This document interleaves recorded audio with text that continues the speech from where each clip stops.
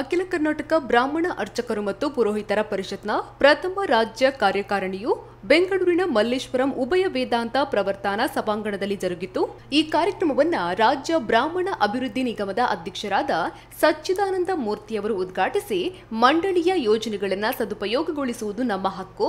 ಸ್ವಾಭಿಮಾನದಿಂದ ಸಮಾಜದ ಏಳಿಗೆಗಾಗಿ ಕಠಿಣ ಬದ್ಧರಾಗಬೇಕೆಂದು ಕರೆಯನ್ನ ನೀಡಿ ನೋಂದಾಯಿತ ವಿಪ್ರರ ಗುಂಪಿನ ವಿಮೆಯ ಕಂತನ್ನ ಬ್ರಾಹ್ಮಣ ಮಂಡಳಿಯಿಂದ ಭರಿಸುವುದಾಗಿ ಘೋಷಿಸಿದ್ರು. ಇನ್ನು ಕಾರ್ಯಕ್ರಮದ ಅಧ್ಯಕ್ಷತೆಯನ್ನ ವಹಿಸಿಕೊಂಡ ವೇದಮೂರ್ತಿ ವಿಶ್ವೇಶ್ವರ ಭಟ್ಟರು ಪರಿಷತ್ತಿನ ಬೆಳವಣಿಗೆಯನ್ನ ತಿಳಿಸಿ ಆಚಾರ್ಯ ತ್ರಯರ ಪ್ರಾರ್ಥನಾ ಶ್ಲೋಕದ ಆಯ್ಕೆಯನ್ನ ತಿಳಿಸಿದ್ರು. ಈ ವೇಳೆ ಎಲ್ಲಾ ಮಹಾದಾನಿ ರಾಜ್ಯ ಪೋಷಕರಿಗೆ ಹಾಗೂ ಜಿಲ್ಲಾಧ್ಯಕ್ಷರಿಗೆ ಸನ್ಮಾನ ಮಾಡಿ ಗೌರವಿಸಲಾಯಿತು.